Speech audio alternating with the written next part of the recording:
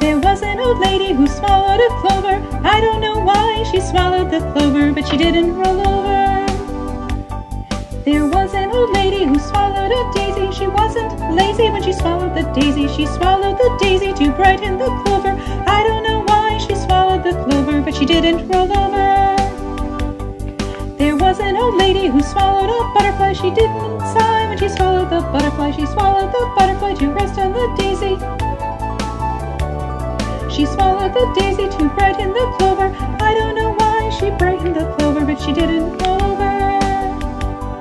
There was an old lady who swallowed a bird. It wasn't absurd when she swallowed that bird. She swallowed the bird to glide with the butterfly. She swallowed the butterfly to rest on the daisy.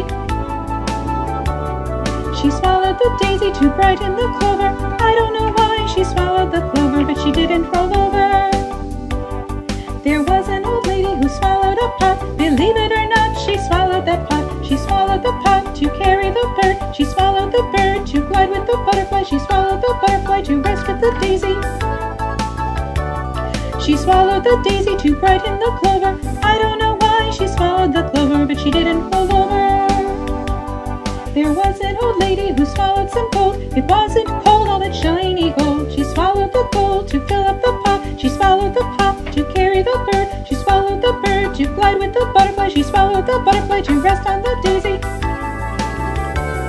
She swallowed the daisy to brighten the clover. I don't know why she swallowed the clover, but she didn't roll over. There was an old lady who swallowed a fiddle. It's a riddle why she swallowed that fiddle. The old lady started to dance and be before she was done, a wee little leprechaun joined in the fun. And as they twirled high and low, she giggled so much, out popped a rainbow. Happy St. Patrick's Day!